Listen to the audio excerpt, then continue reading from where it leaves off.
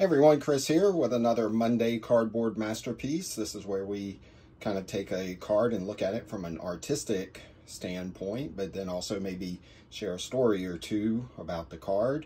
And today we're going to look at one of the best players from the 1940s, um, and that's Steve Van Buren.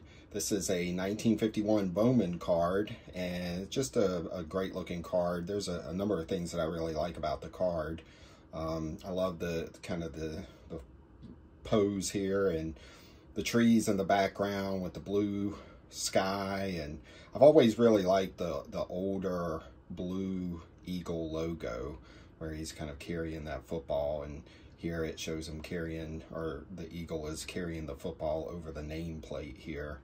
Um, just a fabulous looking card, one one that I think is really just just beautiful. Um, and you, of course, he's carrying the football there, which is just a great look and uh, just just a great looking card from from one of the great football sets of the early 50s. Now, Steve Van Buren was just a fabulous player that to me is kind of really overlooked for, for how great he really was. He was the second player to rush for a thousand yards in a season back when there were only 12 games to an NFL season. But not only did he rush for a thousand yards, he was the first to rush for a thousand yards back to back. Um, now he also, from 1947 to 1949, was the leading rusher in the NFL. He was the first person to do it in three consecutive years, and there have only been three other players that have done that. You had Jim Brown, who did it twice. Um, you had Earl Campbell, who did it, and Cannot remember the third player that did it, but there is a third player. Oh, Emmitt Smith. Emmitt Smith is the third player to do it. So there are only four players that, that have ever done that in three consecutive years. Um, so just a great feat there. He, he was also a, a really big part of their two NFL championship teams, their back-to-back -back teams that, that won the NFL championship in 1948 and 1949 in 1948 in that championship game um, against the Chicago Cardinals, who were the defending world champions.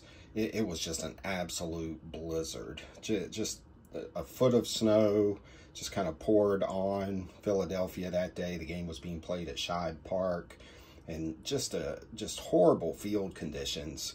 And the score ended up being a final score of 7 to 0 with Van Buren scoring a touchdown, the only touchdown in the game in the fourth quarter. Then in 1949, you had the Eagles playing the Rams. And once again, not good field, uh, field conditions. This time it wasn't snow, but it was rain as it was just pouring down rain and, and made the field just absolutely muddy. But uh, the Eagles just continued to feed Van Buren the ball, and, and he rushed for what was then a, a championship game record of 191 yards in that game. So again, he was really instrumental there. And uh, in 1950, he kind of injury started slowing him down a little bit and uh, just kind of started having more and more injuries. And in 1952, he tore a ligament in his knee. And then ultimately, he ended up kind of retiring because of that. If you look at the back here, it's really kind of interesting. As it, if you look down towards the bottom there, it says called greatest football player in America. So at the time, he was considered the best football player by at least some people. And uh, he was considered the best. And also on the back, you may have noticed, and if not, he um, when he retired, he retired as the league's leading rusher in yards and the leading rusher for touchdowns. So again, just a, a fantastic player. He is on the NFL All Decades 1940s team. And just a beautiful card of a, of a great player from the 1940s that, that I really love having in my collection. Anyway, that's all I have for today. I hope you enjoyed this one, and we'll see you next time.